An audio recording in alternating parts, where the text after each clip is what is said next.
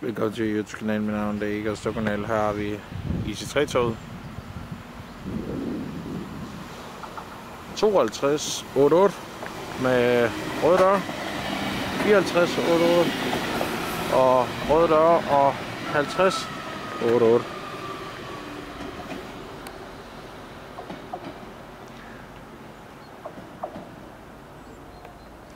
Min navn var det ikke også kanal. Husk at smide den video et dobbelt like. Ellers så ses vi bare i næste video herfra Horsens Banegård år 2000 år 2020.